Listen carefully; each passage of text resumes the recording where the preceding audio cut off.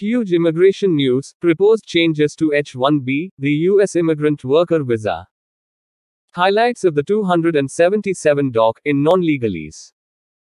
Stop H 1B fraud from Indian IT, increase lottery odds by more than 60%. Allow entrepreneurship on H 1B. More. Big fan of the new rules. Let's break it down. 1A. Stop H 1B fraud.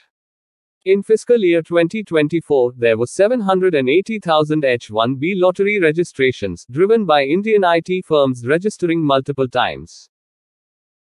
Only about 470,000 or so are unique.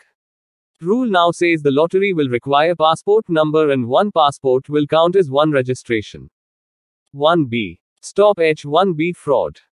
With this rule, fiscal year 2024 annual H1B chances would change from undergrad increase from 8.32% to 13.9%.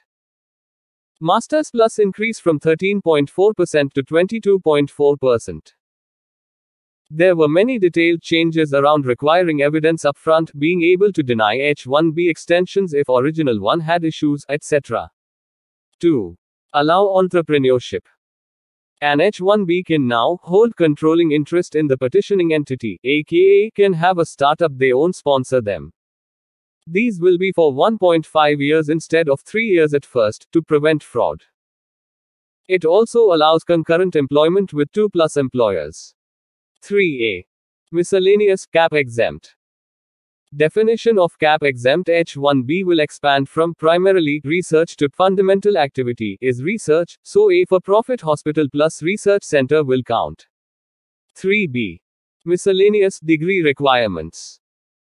Jobs with generic degree reqs like engineering or business administration or any bachelor's degree won't count. Petitioner must prove the qualifying degree field is directly related to the position to prove specialty occupation. 3c. Miscellaneous degree requirements. I'm not sure what this means for consultants, MBA.